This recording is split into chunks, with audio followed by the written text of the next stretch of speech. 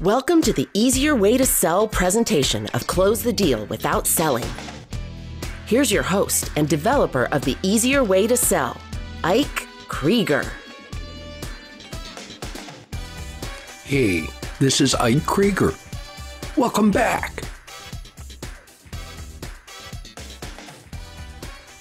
All right, this is the moment many of you have been waiting for. We're going to go through the entire Quick system. And as I mentioned earlier, there's a challenge sharing that much information with you in a short podcast. So let's devote the next four episodes to a step by step analysis of the entire Yes formula process. You're even going to get to use the diagnostic questions you've memorized. I want you to listen to these podcasts. Take notes. Listen again. Take more notes. Or use your action guide, which will speed up your learning and retention process. Practice. Practice by yourself. Practice with the recorder on your phone. Practice with friends. Practice with family members. Practice. Add doing to your learning. Remember, you have to tune 100 pianos before you become a confident and efficient piano tuner. It doesn't matter where you tune your 100 pianos, you just have to tune them.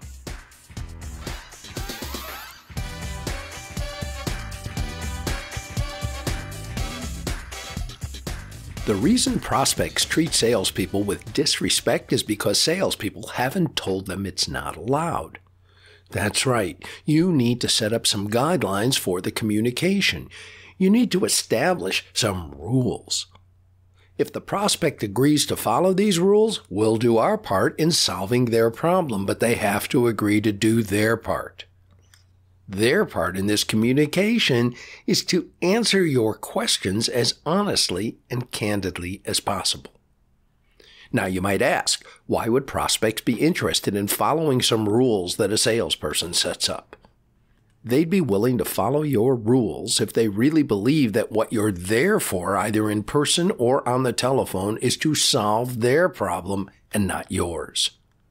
You may be wondering what kind of rules is this guy talking about? You might be saying there are no rules in sales. It's more or less a free for all. However, I believe that consumers have their rules and salespeople have rules of their own.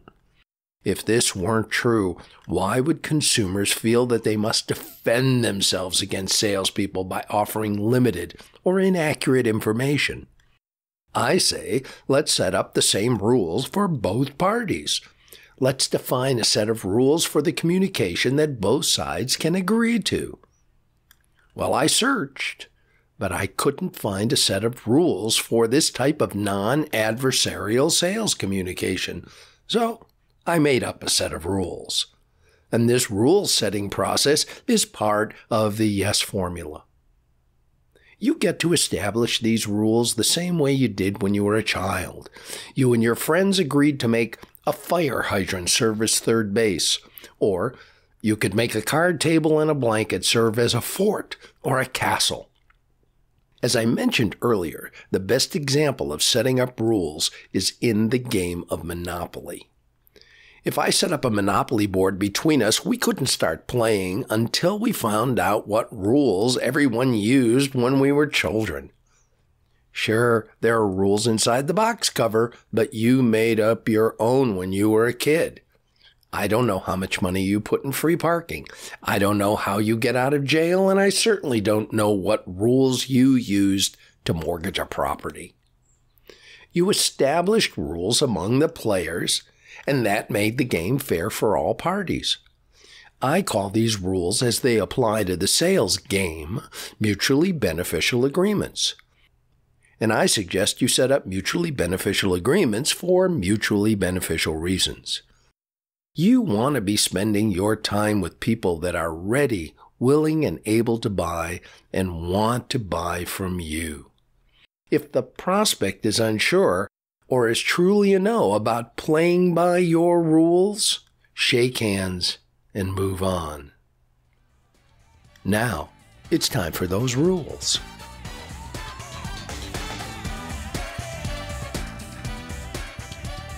Okay, let's get started on a review of the entire YES formula, the easier way to sell. First of all, success with the YES formula is not an outcome. Success with the YES formula is a process. And in this system, the first step in this process is to establish rapport and relationship with your prospect. This rapport and relationship will help you create an environment where the questions that I keep telling you to ask will be answered honestly.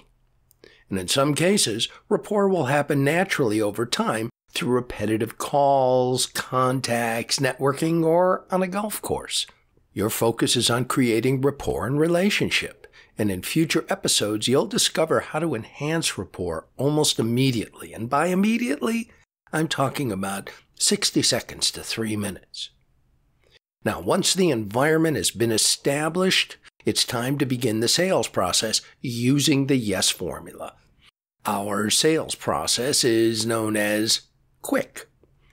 QUICK is nothing more than a formula for effective communication that just happens to work in the selling process. QUICK is an agreement based process every step of the way you test for an agreement to move forward. You'll ask questions like, is that okay? Or do you mind if we X? Or is that something you'd be willing to do? These type of questions allow the client to open the door to a next step on their own without being bullied or forced. If they're not ready to move forward, they'll usually tell you. With the YES formula, you get to tell the prospect that you're going to use it. You get to tell the prospect how it works, and you get permission from the prospect to use it. Basically, you tell them that you're going to use Quick, then you use Quick, and finally you share with the prospect the information that Quick has uncovered, and then you ask if your assessment of that information is accurate. This approach is based on the public speaking model. Avoid giving a traditional presentation. You know, in some instances, a traditional presentation may actually signify to a prospect that you're in a please buy from me and here's why mode. Now, you may not be in that mode at all when you sell, but that doesn't mean you're not viewed that way. So, in this review of the YES formula, I'd like you to look for a presentation. And if you hear one, distinguish who's giving that presentation. Spot if and where objections appear, and most of all, listen for the signs of control. Identify who appears to hold control of the communication throughout the process.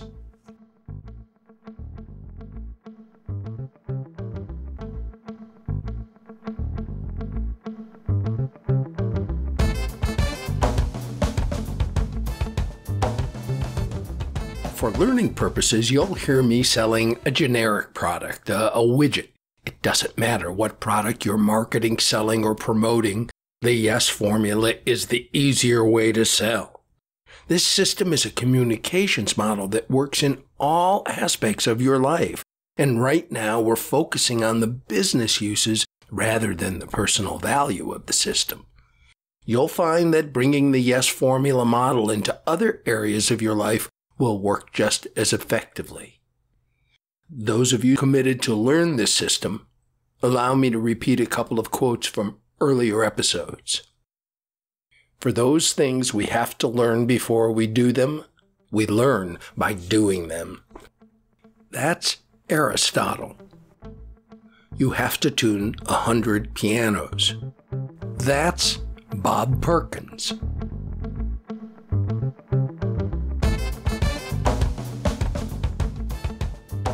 Hey, this is Ike. This is one of those inserts where I'm coming to you from the future. Uh, we're at episode 41, and we were just talking about the prelude, and I have made an adjustment over the past year, and I'm going to share it with you now. And it has to do with taking in things with you, like your presentation material or your demonstration material.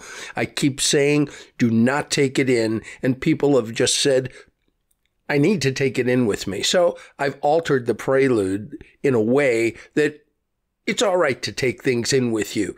And everything you hear about the prelude from now on is perfect. And what I'm doing is giving you a preface. And that is for you to say something like this if you've brought in your demonstration or presentation material. And that's, you know, my company likes me to give a presentation as soon as I can so I can wow the prospect. But I'm not sure yet that that's really something that you need because I don't have enough information. And then you're right back into the prelude. I'll leave it at that. Listen to this next segment about the prelude. And remember that I've now given you the freedom in this system to actually bring in your presentation material or your demonstration material. Just put it to the side and refer to it. You know, that's all you need to do. Enjoy the next segment.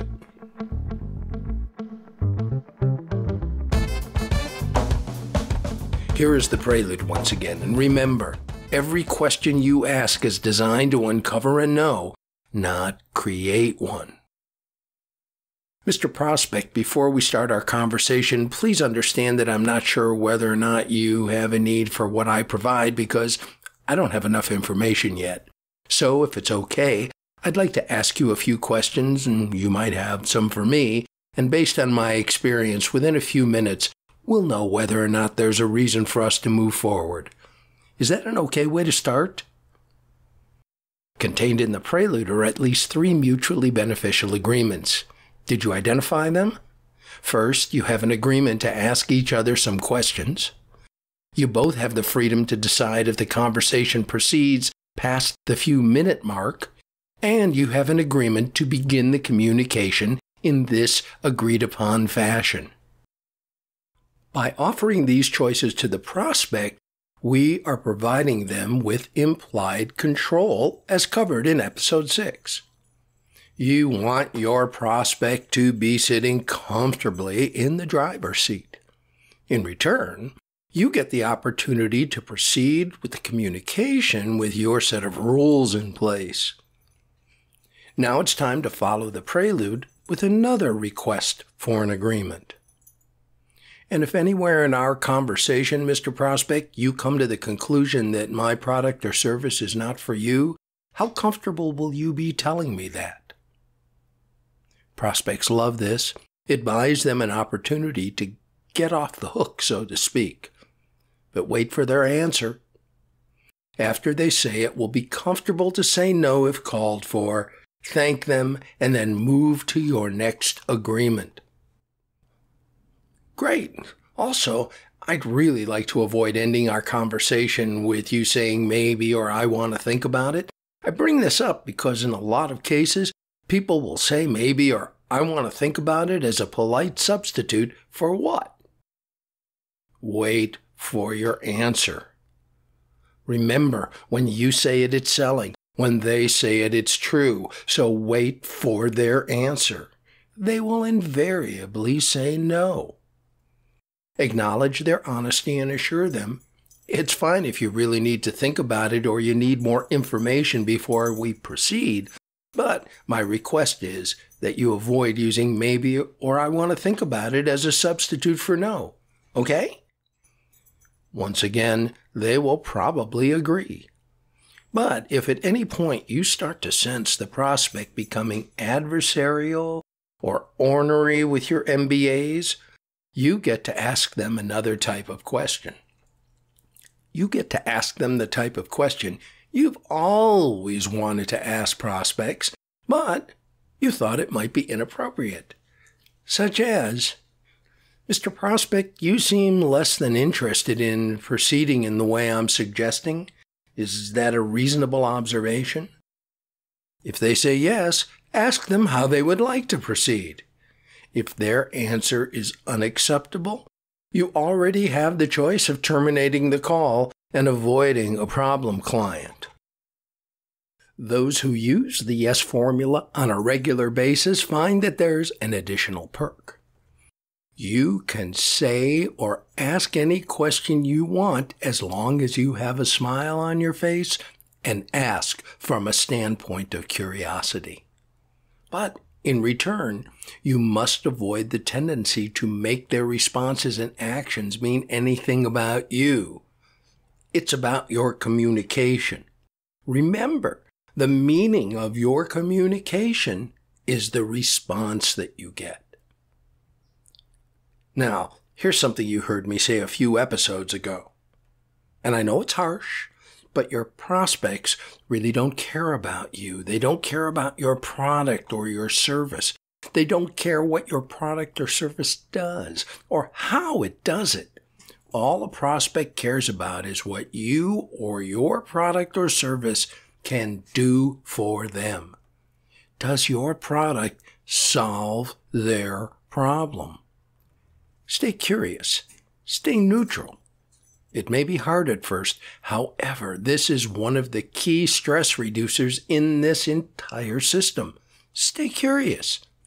You can remember to do this by remembering the ingredient in the yes formula can. Curious, authentic, and neutral. Now you can add that other A in there about being apart from the problem. I find that very helpful. Just a reminder the accompanying digital action guide for the entire Close the Deal Without Selling podcast is now available at sellandmarketbetter.com. And remember to use the episode coupon code that you'll find in your show notes.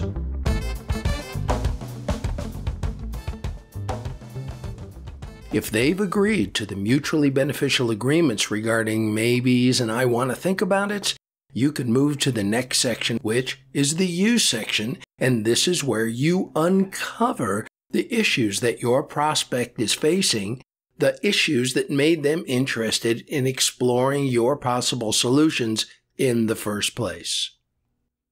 Once again, Mr. Prospect, I'm not sure whether or not you have the type of issues our product addresses, but if it turns out that you do and you're going to be the judge of that, once again, this gives them implied control and you're going to be the judge of that, we're going to have to discuss the budget for this project. If we get to that point in the conversation, how willing are you to share what kind of dollars you have set aside for this? You know, I'm talking ballpark figures. They'll either respond, sure, or we'll see, or no. Either way, you'll be getting the information you need to decide whether to move forward in the communications process. And it's been my experience that they usually say yes, even if that's not their immediate intention. Wait until later to discuss the money issues. You're just setting up the fact that if they believe you can help them with their problem, the topic of paying for that solution is going to come up. Next, we move to the step that helps us make sure that we're meeting with someone that can do more than just say no. So, Mr. Prospect, if it turns out that we get far enough in the process to move forward, is there anyone else besides yourself that would be involved in the decision? If they say yes, request that those people be present in the meeting. If those additional decision makers can't be present, either reschedule or face the fact that you may have to repeat the process at a later date. Another way to gauge a non decision maker's interest is set up this agreement. Uh, let's agree that at the end of our conversation, you'll tell me if it were up to you whether you would work with us or not. The last thing you want is someone who is not enrolled in your solution telling the higher ups what that solution is, you'll hardly ever make a sale in those conditions. If they say they are the one that can make the decision and they can make it on their own, I suggest you verify that information. You can ask, so no spouse, significant other, business partner, or accountant will be involved in the decision to move ahead? Be sure to make this industry specific. For a banker, you might ask about a board or an underwriter or a committee that oversees decisions. Know the industry hierarchy. But if they still say, nobody else, I can make the decision myself, move on, and file their answer away for later reference. And finally, request that they share the reason for their decision. This is part of the K section of Quick, and that K stands for knowledge. K is the final section of Quick before you get into your sales interview. Tell them, you know, I'm always curious about someone's motives and reasons for buying and would really appreciate hearing your thoughts. In this exercise, the prospect has responded positively to the MBAs in a way that will have me begin the qualifying interview. Last but not least, you ask the prospect if they would like to speak or would they prefer that you go first? If they choose to go first, let them speak. If they ask you to go first, it's time for your first question. This first question is I'm curious, when you decided to take the time to talk to me, what were you hoping I might be able to do for you? Rather than launch into a traditional presentation, ask a well formed, open ended question and put the ball back in their court. Those of you who are tennis players know that consistently hitting the ball over the net is the hardest part of that sport. Since it's so hard, why not shift that responsibility to the person on the other side of the net? In other words, keep the ball in the other person's court. Believe it or not, we just went through an entire overview of Q. All of the agreements and questions that were set up are part of the Q in Quick. The Q actually lays out all of the components in a neat package. You'll see this more clearly in a little while.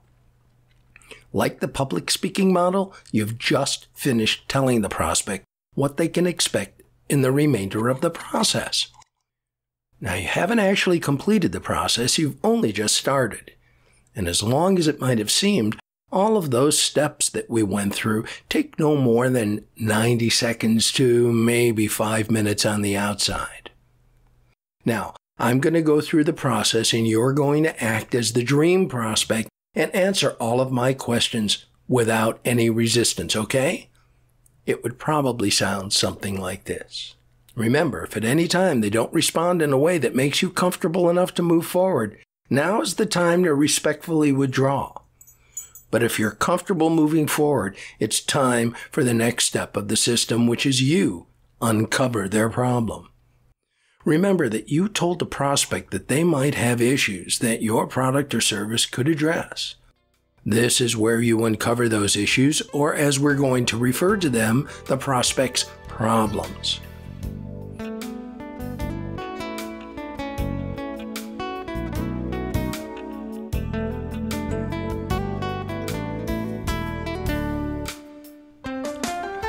All right, that's enough for this episode. We've covered quite a bit, and there is still a bunch left to go over when it comes to the quick system.